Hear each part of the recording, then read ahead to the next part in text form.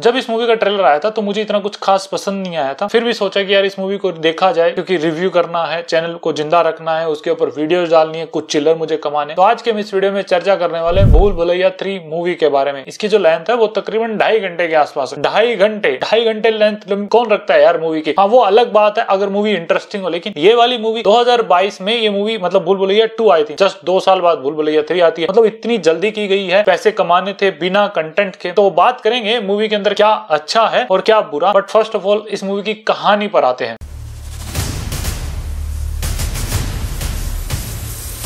तो एक नकली रू बाबा, जिसका नाम रूहान है, जिसको प्ले किया है कार्तिक आर्यन ने। तो रूहान जो है वो लोगों को ठगने का काम कर रहा है। भूत के नाम पर लोगों को बताता है, यहाँ भूत है, पिशाच है, इसको भगाना है तो उसकी हेल्प करनी मतलब की रू बाबा की हेल्प लेनी होगी। तो इस करके जो है वो काफ़ी ज़्यादा फ़ेमस हुआ पड़ा है रू बाबा के नाम से, लोगों को ठग भी रहा है। तो इसको एक हवेली में बुलाया जाता है की आओ भैया, यहाँ पर आके भूत भगाना है, असली का भूत है, या भूतनी है, पिशाच है, एक है, दो है, कितने भी है, आपको यहाँ पर आके इन भूत को भगाना है। तो मतलब उसको बुलाया जाता है या ज़बरदस्ती ले जाया जाता है, तब यह मूवी देखोगे तभी आपको पता चलेगा। वैसे इस मूवी का रिव्यू करने में काफ़ी ज़्यादा लेट हो चुका हूँ यार देखो, जब तक ये रिव्यू आएगा, शायद ये मूवी हट भी चुकी होगी। वैसे अच्छी बात है, बुरी बात है। इस वीडियो में आपको मैं आगे चल के बता दूँगा कि मूवी आपको थिएटर में देखनी चाहिए या किसी ओटीटी प्लेटफॉर्म पर आए, इसका इंतज़ार करना चाहिए। खैर मूवी की स्टोरी पर फोकस करते हैं तो रूहान जो है वो हवेली में जाता है तो उसको एक असली भूत या भूतनी, पिसाच, पिसाचनी, एक या दो, वो भूत वगैरह मिलते हैं। अब रूहान का जो कनेक्शन है, इस हवेली से दिखाया गया उसके पास में कोई कनेक्शन यहाँ पे दिखाने की कोशिश की गई वो क्या अगेन देखो यार, जब भी आप मूवी देखोगे, तभी आपको पता चलेगा कि हाँ इसकी स्टोरी क्या है एट दी एंड में हमें क्या देखने को मिलता है, इसमें कितने भूत हैं कौन सी भूतनी है, उनका क्या मकसद है, क्या उनका पास्ट रहा है, अब वो वापस क्यों आए, वगैरह वगैरह। इन तमाम सवालों के जवाब तो आपको मूवी देखने पर ही मिलेंगे। तो ये हो गई इसकी कहानी। अब बात करते हैं इस मूवी में अच्छा क्या है।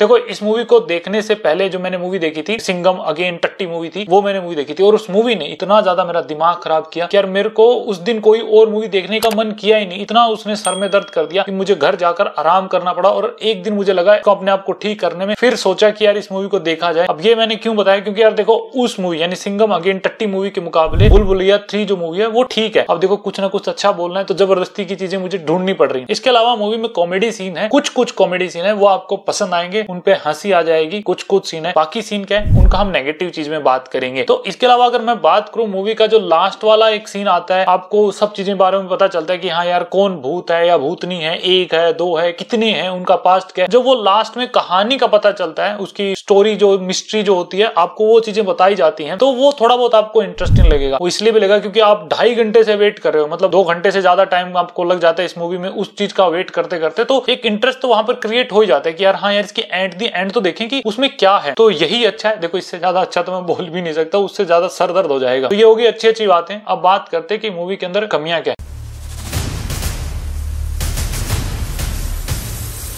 देखो मेन जो पर्पस है या फिर इसका फोकस जो है इस मूवी का, वो सिर्फ़ और सिर्फ़ पैसे कमाने पे किया गया अब कुछ लोग बोलेंगे कि यार, हर मूवी जो है वो पैसे कमाने के लिए ही आती है। हाँ ऑब्वियसली आती है, लेकिन कुछ मूवीज़ में फोकस किया जाता है पैसे के अलावा ऑडियंस को। ऑडियंस के ऊपर की भाई हाँ इनके एंटरटेनमेंट का ध्यान रखा जाए। एटलीस्ट इन्होंने रुपया दिया है टिकट खरीदने का तो उनको उस रुपए का वसूल वहाँ किया जाए। उनको उतनी सर्विस दी जाए। लेकिन यहाँ पर इस मूवी के अंदर मेन फोकस सिर्फ़ और सिर्फ़ पैसा कमाने पे ही रखा गया और बाकी जनता के ऊपर कोई भी ध्यान नहीं है, उनको स्टोरी कोई मतलब नहीं है, बिल्कुल भी नहीं। अरे आप सोचो कि दो साल पहले भूल भुलैया टू आई थी जस्ट दो साल बाद ये मूवी आ रही है। तो वहाँ पर राइटर्स आपको कितना मौका दिया होगा कहानी को अच्छे से डेवलप करने में करेक्टर को डेवलप करने में? नहीं, बिल्कुल भी नहीं। तो इस मूवी को देखकर ऐसा फील होगा कि जो मेकर्स हैं वो भूल भुलैया वन जो आई थी, जो काफ़ी ज़्यादा बढ़िया थी, और मुझे लगता है कि भूल भुलैया टू ने भी उसकी कहीं पर भी मुकाबला नहीं किया मतलब उसके टक्कर में कहीं पर भी नहीं है। तो भूल भुलैया वन के नाम पर ही ये मूवी आगे बढ़ने की कोशिश कर रही है, पैसे कमाने की कोशिश की। वही चीज़ है कि जो चीज़ चल गई है, बस हाँ जनता को बेफ को बना लो, उनसे पैसे एंट लो, जनता को क्या पता चलता है। अब जो इसमें कॉमेडी सीन रखे गए हैं, जैसे मैंने कहा कुछ कुछ सीन है जहाँ पर आपको हँसी आएगी। बाकी जो सीन है, उनका क्या? देखो, उन्होंने जो कॉमेडी सीन इसके अंदर रखे हैं, जो भी डायलॉग आपको सुनने को मिलते हैं कॉमेडी से रिलेटेड वो इन्होंने फेसबुक या गूगल से जस्ट टाइप किया होगा कॉमेडी डायलॉग तो बस जो भी सामने आए, वो जनता को चेप दी गई इतने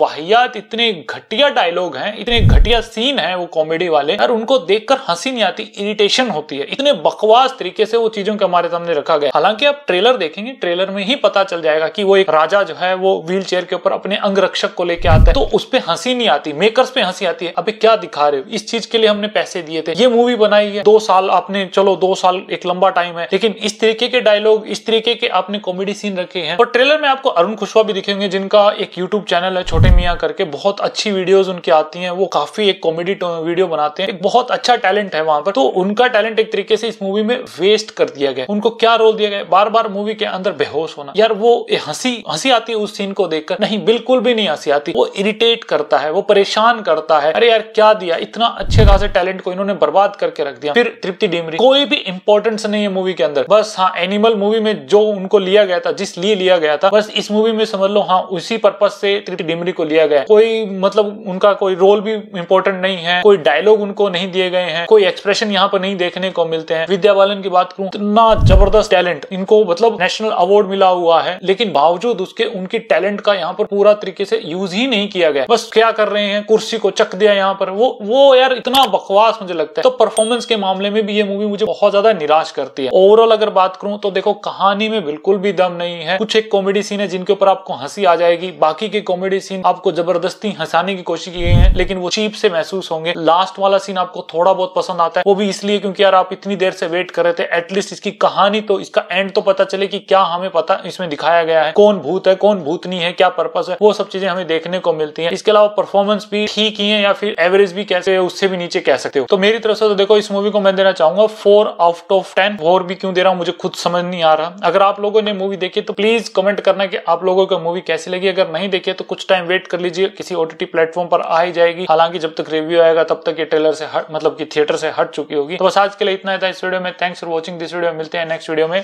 जय हिंद।